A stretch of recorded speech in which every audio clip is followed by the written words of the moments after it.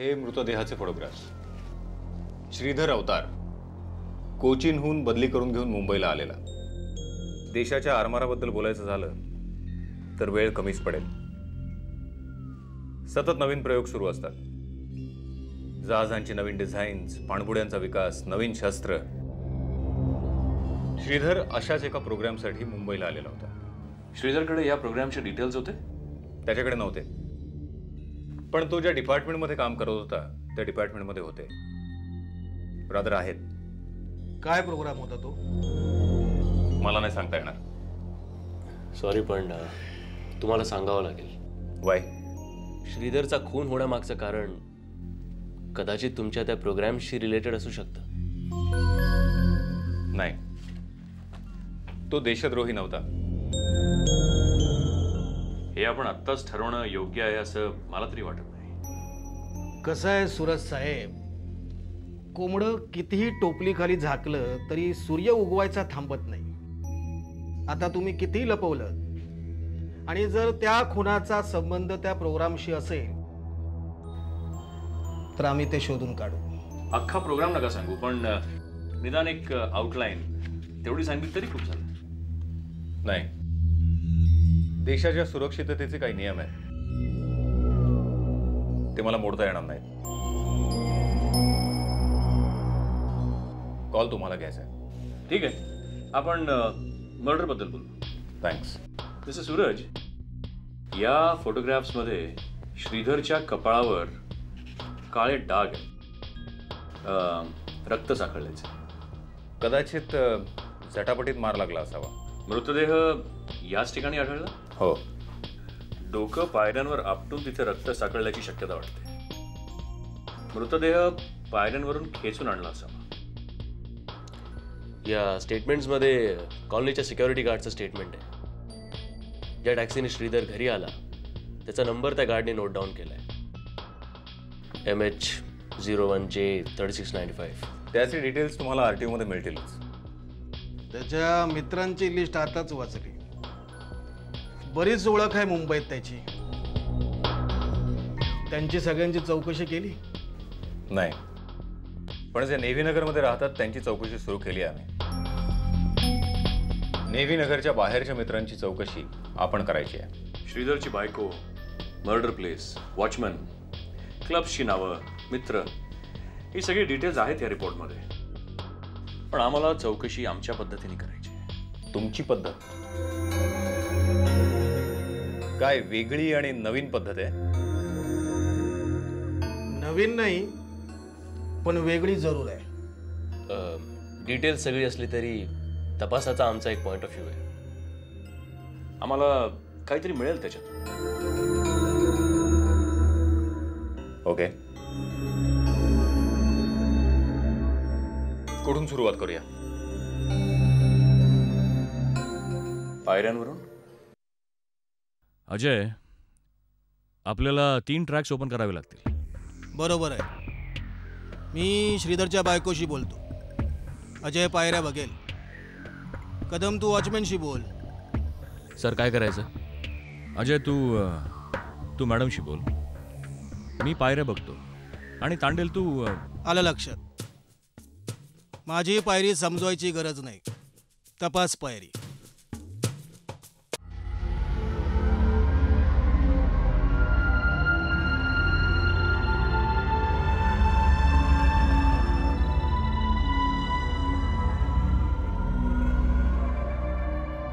H zero one three six nine five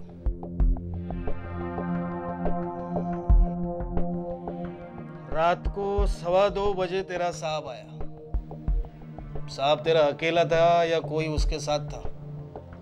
अकेला था। कहीं दूरी पर किसी को उतारा नहीं ना? कोई नज़र नहीं आया। नाम क्या है तुम्हारा? हेमंत सोनावणे। सोनावणे. मराठी आहेस तू. होय. अरे मग आधी नाही बोलायचं? आता तुम्ही हिंदीतून सुरू केलं म्हणून आम्ही पण. अरे कसं आहे आता एवढ्या मोठ्या कॉलनीचा वॉचमॅन आहेस तू. हा हा सिक्युरिटी सिक्युरिटी बरोबर. तर एवढा मोठा हुद्दा आणि मराठी माणूस तिकडे म्हटल्यावरती जरा नवल वाटलं. म्हणून. बरं सोनावणे कोणीकडचे तुम्ही? खानदेशचे का? होय. धुळा तुम्ही आमच्या गावातच शिरलात की. मी सुद्धा तिकडचाच काय सांगताय? काय माहिती आहे ना? या एवढ्या मोठ्या शहरात आपल्या गावचा माणूस भेटला ना की जरा बरं वाटतं बघा. बरं सोनावणे मला तुम्ही एक सांगा. हा तुमचा साहेब जो आहे तो भला माणूस होता का? बाला कसला? शौकीन म्हणा शौकीन. काय सांगता? खरं सांगते मी. त्यांनी कधीच कुणाला त्रास दिला नाही. शौकीन होते. आणि दिलदार सुद्धा. त्यामुळे त्यांचा मित्रपरिवार मोठा होता. त्या दिवशी श्रीधरची चौकशी करण्यासाठी तुम्ही जेव्हा त्या माणसांना म्हणजे त्याच्या मित्रांना फोन लावलेत तेव्हा ते सगळे काय करत होते? बहुतेक जण घरी परतत होते. क्लबमधून. म्हणजे श्रीधरला भेटून? नाही. त्या दिवशी श्रीधर त्यांना भेटलाच नाही. त्या रात्री तो क्लबला गेलाच नाही? नाही. म्हणजे रोज जायचा? नाही. असं काही नक्की नसायचं पण बहुतेक वेळा जाणं व्हायचंच. बाहेर काही पैशांचे व्यवहार? कल्पना नाही. तुमचं मॅरिड लाईफ आनंदी होतं. त्या दिवशी श्रीधरला शोधण्यासाठी तुम्ही फोन लावले बरोबर? हो. काय विशेष कारण? काळजी वाटत होती त्यांची. का? माहिती नाही. कुणाकुणाला फोन लावले ज्यांना फोन लावले त्यांची लिस्ट दिली आहे ऑफिसरकडे. नावं आठवत नाहीत. कुणावर संशय?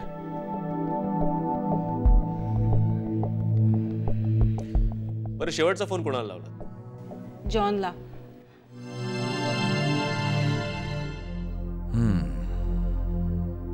कदम मनाला पटत नाहीये. म्हणजे हे भिंतीवरचे ओरखडे हे पायरीवर सुकलेलं रक्त. हम्म, आपण एक काम करूया. म्हणजे आपलं जे काही वाटतंय ते आपण करून बघूया. म्हणजे जे काही झालं असावं असं आपल्याला वाटतंय ते आपण करून बघूया. एक काम करा. तुम्ही प्रेताची जागा घ्या. साहेब एक सुचवू का? बोला. एंट्रीपासून घेऊया. ठीक आहे. गावाकडची माणसं भेटली ना की काम अगदी सोपं होऊन जातं. आता आपल्यासारख्या लोकांना मदत नाही करणार तर कुणाला करणार? नाही बरोबर आहे बरोबर आहे तुमचं. सोनावणे तो टॅक्सीवाला परत दिसला तर ओळखाल का? सवालच नाही. मस्त.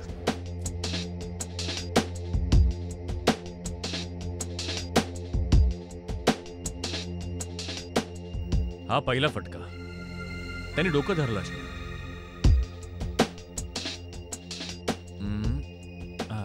हा दुसरा फटका तो खाली बसला असणार आणि हा तिसरा फटका तो आडवा झाला असणार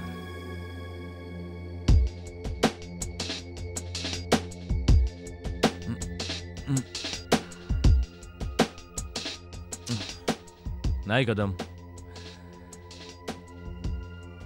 हा हे भिंतीवरचे ओरखडे हे पायरीवर सुकलेलं रक्त ते या पोझिशनमध्ये जस्टिफाय होत नाही आहे आपल्याला एका वेगळ्या पद्धतीने ट्राय करून बघायला लागेल. एका एखाद्या वेगळ्या पोझिशनमध्ये कम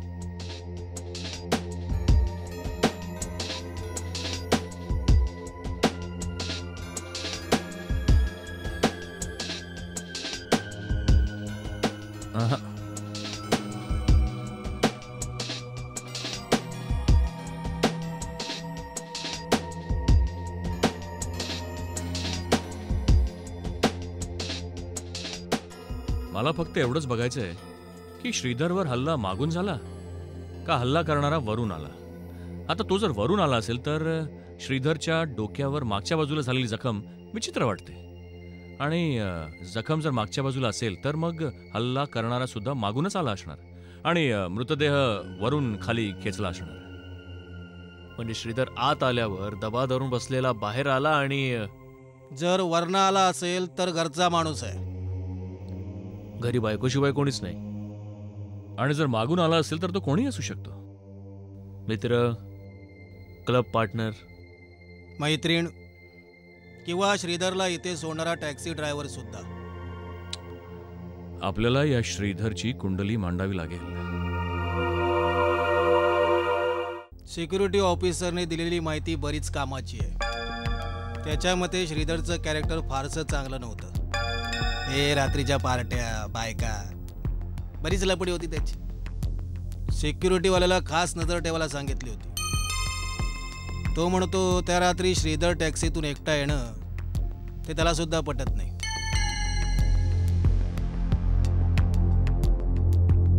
सर कसला विचार करतोस सर श्रीधरचं हे असलं रुटीन म्हणजे लेट नाईट्स क्लब्स पार्टीज हे किती दिवसांपासून चालू असेल?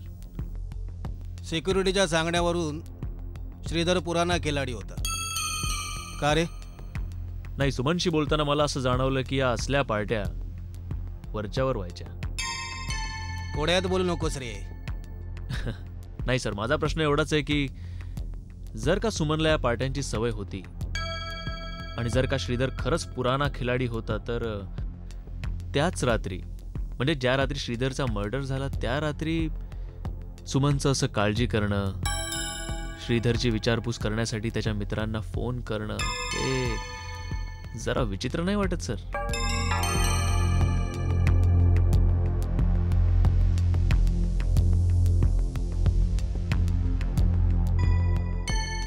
you have a point there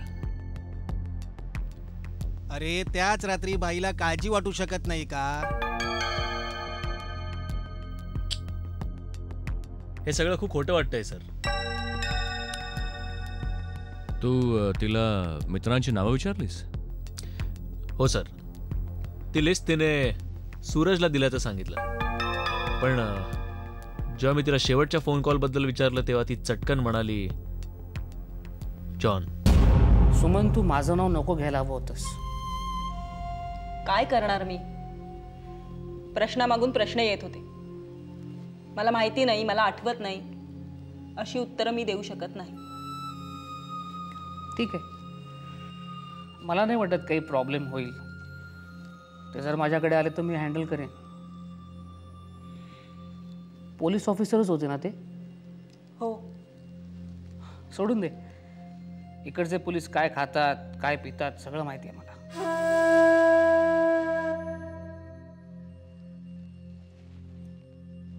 Suman Shridhar तुझ्याशी काही फ्लॉपी संदर्भात बोलला होता? काय प्रश्न विचारतोयस तू? तो माझ्याशी कधी सरळ बोललाय का? आणि कामासंदर्भात तर मुळीच नाही. मग तू मला त्याची बॅग आणि रूम वगैरे बघायला देशील ना? काय होतं त्या फ्लॉपीत ए विशेष काही नाही. म्हणजे महत्वाची डॉक्युमेंट्स होती. अगं आम्ही दोघं कोचिंगला होतो ना तेव्हा त्यांनी ते डाउनलोड करून घेतली होती. नाही. तू माझ्यापासून काहीतरी लपवतोयस. नाही अगं खरंच नाही. बरं राहू दे. मी पुन्हा केव्हा तरी येईन ना तेव्हा बघेन. जॉन मला मदत केल्याबद्दल thanks. It's okay you are always welcome प्रेम प्रकरण दिसतंय. शक्य आहे. पण मला वाटतं त्या टॅक्सीवाल्याची स्टेटमेंट खूप महत्वाची ठरेल. सर त्या जॉनला आत घ्यायचं. आत्ता नको. आत्ता काहीच करायला तो आपलीच वाट बघत असणार. अजय त्याला आपण मोकळंच सोडलेलं बरं. मला वाटतं तो सूरज. नौसेना पोलीस? हा तोच तो. मला वाटतं तो आपल्यापासून काहीतरी लपवतोय. श्रीधरच्या कॅरेक्टरबद्दल. एक्झॅक्टली सर त्याचं असं अचानक रिॲक्ट होणं आणि सांगणं की श्रीधर देशद्रोही नाही आहे जरा विचित्र वाटतंय सर सर टॅक्सीवरचा पत्ता मिळाला. इतक्या रात्री कुठून मिळवलास? मी नाही शोधला. आर टी शोधला. पण पहिली खबर आपल्याकडे झाली. वा. या वर्षी प्रमोशन दिसतंय तुझं. चला. जाऊ ना. नाही तर दुसऱ्याला पाठवायचं असेल तुला. जा बाबा. ठीक आहे. चला. काय विचित्र माणूस आहे नाही जरा. आता विचित्रच आहे म्हटल्यानंतर जसा आहे तसा झेलायचा त्याला. मोबाईल विसरलेलो. हम्म, घेऊन जा. चालू द्या चालू द्या तुमचं. कदम. खबर पक्की आहे ना? नाही तुझे ते दोन साहेब माझी खबर घेतील. सर मी सांगतो ना खबर एकदम पक्की आहे. नाश्ता पाणी केलास का तू? नाही सर खूप मेहनत घेतोस रे तू. नक्की. प्रमोशन नक्की तुझं. काय सर चल माझ्या घरी जाऊ नाश्ता पाणी करू फ्रेश होऊ आणि निघू. चल. आठवतं की साहेब अहो त्या दिवशीचं नेवीनगरचं भाडं कसा इसरण मी? साहेबांनी अशा काही नोटा फेकल्या का डायरेक्ट खिडकीतनंच? लय भारी होता साहेब. नाव काय आपलं? अ, तुकाराम सदानंद सातोरे. सातोरे. सातोरे म्हणजे घाटावरचे का? होय साहेब मी सातारचा. अरे मी पण साताऱ्याचा. गाव आला तू. हे चाळीस गावच्या अलीकडे गाव आहे आपले की? हम्म साहेबांचा जमीन जुमला लय भारी आहे. तुम्ही आलते का गावाकडे? होय तर. हां मग चालतं सातोरे मला एक सांगा ते नेवीनगरचं भाडं उचललं कुठून? अ, उचललं म्हणजे बघा साहेब अ, त्या दिवशी काय झालं मी फाय गार्डनला झोपलेलो. आणि अशी माझ्यासमोर टॅक्सी बंद पडलेली. आता ते टॅक्सीतलं गिराईक लागलं ड्रायव्हरला शिव्या द्यायला. मला आली जाग. म्हटलं बघावं काय झालं ते. तिची काळजी करून चालणार नाही आपल्याला. आणि ते परवडणारं देखील नाही. मी तिची काळजी करत नाहीये ग. कामिनी ती फ्लॉपी फार महत्वाची आहे आणि धोकादायक सुद्धा. त्या सुमनला जरा जरी संशय आला ना की त्या फ्लॉपीमध्ये महत्वाची नेव्हीची डॉक्युमेंट्स आहेत तर आपला सगळा प्लॅन फिसकटेल. त्या फ्लॉपीसाठी आपण एवढी धावपळ का करतोय? हा तिचा संशय आपल्याला लटकवू शकतो. हे बघ जॉन. आपल्याकडे वेळ फार कमी आहे. जर का दोन दिवसात ती फ्लॉपी आपल्या हाती लागली नाही ना तर. श्रीच्या मर्डरने फार वाट लावली सगळी. मारू दे. मी दोन चार दिवसात काहीही करून सुमनकडनं फ्लॉपी उडवतो आणि तिने फार कटकट केली तर? तर काय? तिलाही मारून टाकायचं. मग आत्ताच का नको? म्हणजे तुझ्या रथात बसायच्या आधी तू दुसऱ्या रथातून आला होता तर. जातो रे तो टॅक्सीवाला तुमच्या ओळखीचा होता का? नाही साहेब. मग आता आपल्या गावाचं नाव राखण्यासाठी घ्या की? आमचं एक काम करायचं. तो टॅक्सीवाला शोधण्यासाठी आम्हाला मदत करायची. म्हणजे बघा साहेब तुम्हाला सांगतो टॅक्सी काय जास्त लांब न आलेली नसणार कशावरून म्हणतोस? म्हणजे ड्रायव्हरने भाड्यासाठी काय हुज्जत घातली नव्हती. निदान अर्ध भाडं तरी मागितलं असतं का नाही? मला वाटतं मिनिमम फेअर झालेला असेल म्हणून ड्रायव्हरने पण भाड्याचा विषय दिला सोडून. बघा म्हणजे शोधल्यावर सापडेल म्हणतोस. होय सापडत ठीक आहे. बघूया हा टॅक्सीवाला कुठे कुठे फिरवतोय तो.